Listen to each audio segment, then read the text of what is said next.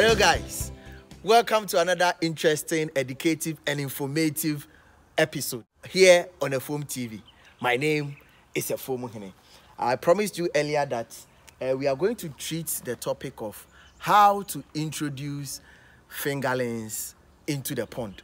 So today, that is the topic that we are going to treat: how to introduce fingerlings into the pond.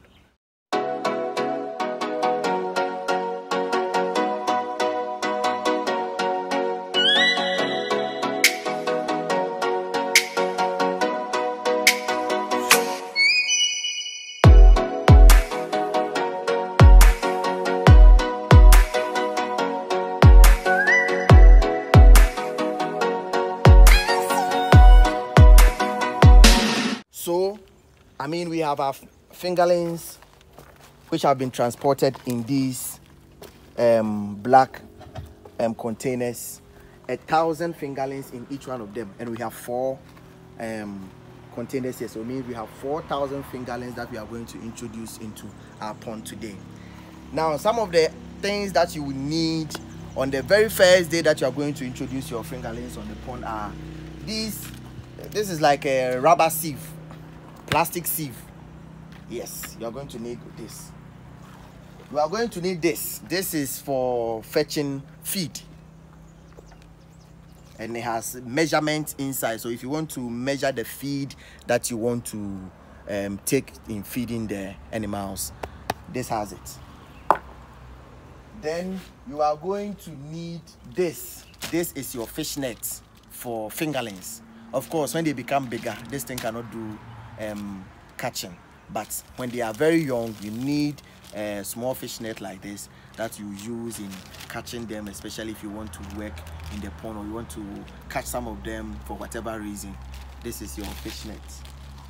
And you are going to need some antibiotic and vitamins. And we have all the two mixed in this medicine that we are going to use to treat the animals. Sort of prophylactic treatment because you know we have traveled a very long distance bringing the fish from where we picked them from to this site. So when you get here you are going to experience that they are a bit weak and stressed. So we are going to use the vitamins to kind of re-energize them and then the antibiotics to kind of boost their immune system to withstand the new environment that they are going to be in.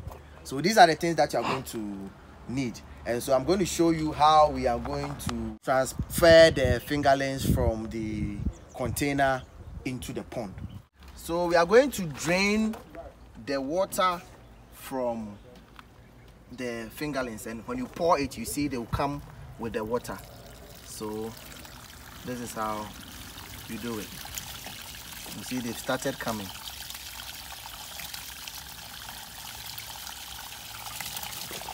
and you pour it very gently. Very gently.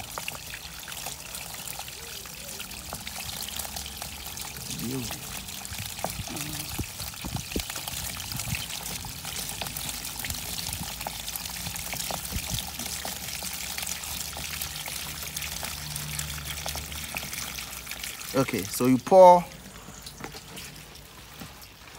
Use your judgment to see if you have enough then you lower it gently into the pond.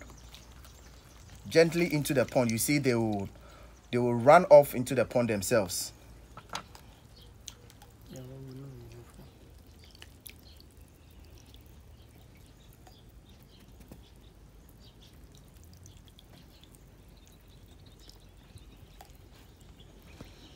And you see that we have some mortalities already because of the long distance that we transported them we have some mortalities already.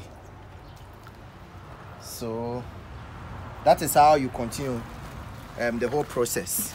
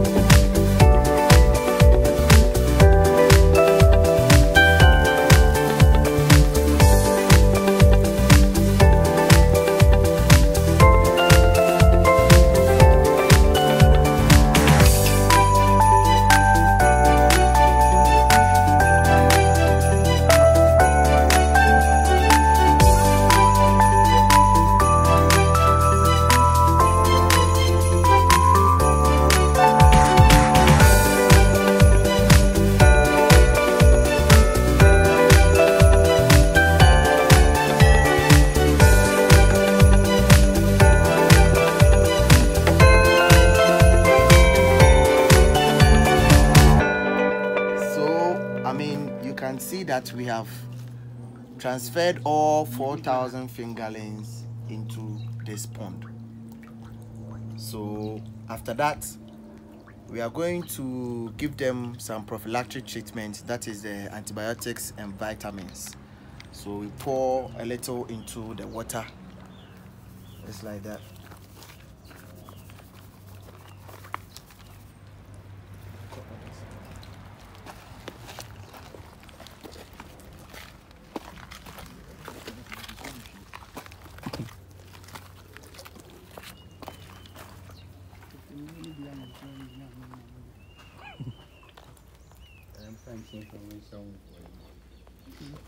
So, just a little, you know, this is it is not for treatment or for anything. It's just to help boost their immune system and uh, re-energize them. Just as if you bring in new day-old chicks, you have to give them some glucose or some coconut water um, to kind of boost their immune system. And just, just it's, it's the same treatment. It's the same treatment. Okay, so.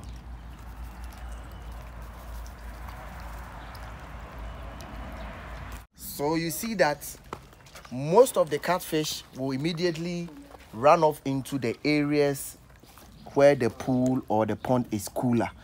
So you see them hanging around where the pool is usually cooler. And that is why it is essential that when they are young like this, you provide shade.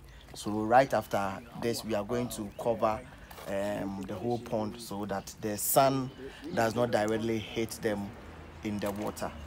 So in in in conclusion that is how you introduce your fingerlings into the pond and offer some prophylactic treatment. And after this you leave them in the pond for about 24 hours before you feed them.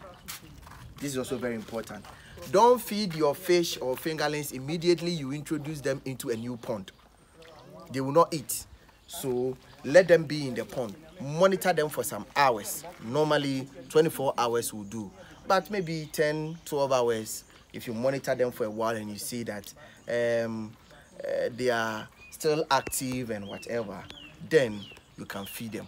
And when you, and when you are feeding them for the first time please don't feed them too much. It's just like um, you know if you fast for a while and you are breaking the fast you have to eat gradually or little by little so that it does not cause any stomach upset or whatever. It's the same. So I, I always say that you see in animal treatment there's a lot of common sense approach. So when you are going to feed them after starving them for a while, then you introduce the feed little by little, make sure they pick it up, and then you increase the amount gradually. So you see that here, I told you that we have a new regime that we are going to start the feed feeding of our catfish with. And that is what we are going to start today. So we are going to start feeding them foreign feed. Now and the reason why a lot of people don't start with foreign feed is that the foreign feed is twice as expensive as the local feed. But the foreign feed gives them a very good start. So we are going to feed these ones with our foreign feed Coppens foreign feed foil um our first one month on a regime or a pattern that we have drawn and then see the progress. We're going to show you the progress too. So, as I always say, if you want to learn more about catfish farming, if you want to learn about how, you can build, construct, and rear catfish on your own, please click on the subscribe button, share our videos, and comment. And then join us on our journey to bring you the adventures and experiences we are uh, having in our farming business. See you again next time. Thanks for watching. Bye-bye.